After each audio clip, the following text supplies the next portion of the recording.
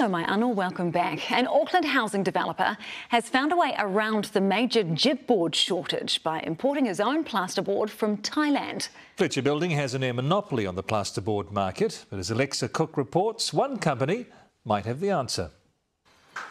It might look like GIB, but it's not.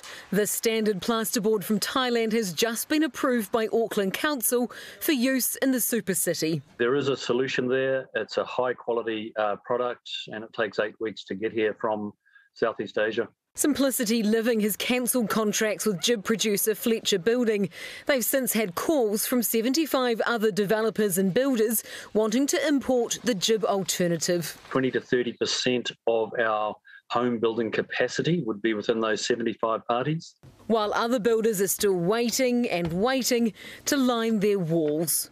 We should have had uh, GIB on this site four weeks ago. It was ordered in January.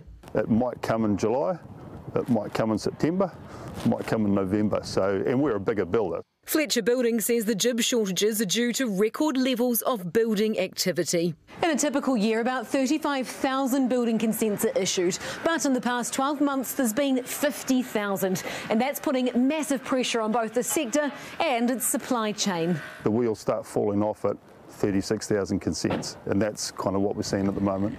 So the building sector is hammering out solutions with the government to make it easier for builders to use GIB alternatives. Working really constructively with the design profession on that uh, and guidance to consenting authorities about how they can uh, have a really streamlined process for accepting substitute of one plasterboard for another. It's got to be a permanent uh, fix so that we never have the risk again of putting all of our eggs in one basket to be let down by an unreliable supplier. Fletcher says its new plasterboard plant is on track to open next year, and two other factories are operating 24 7. Alexa Cook, Newshub.